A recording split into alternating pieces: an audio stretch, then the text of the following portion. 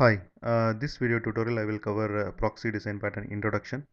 This uh, proxy pattern falls under the category of uh, structural pattern. First we will see the explanation of uh, proxy design pattern. This is the first explanation I will just read out. Proxy provide a surrogate or placeholder for another object to control access to it. Proxy means in place of or representing or on behalf of and meaning of uh, surrogate is act on behalf of others okay?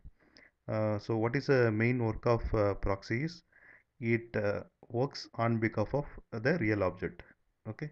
Or it represent real object. The second explanation is proxy is the object that is being called by the client to access the real object behind the scene.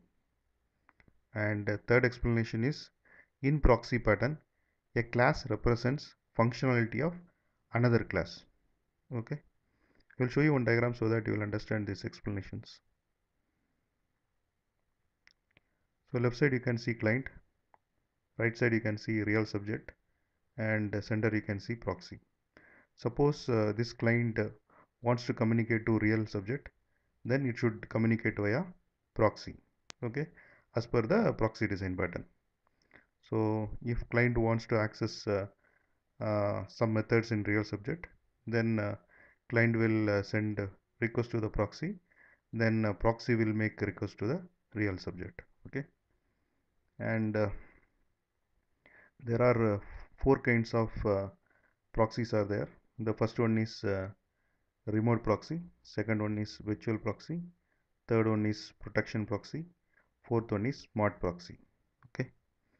And uh, what is the need of uh, uh, proxy design pattern and when to use uh, proxy design pattern uh, I have explained in the separate video tutorials.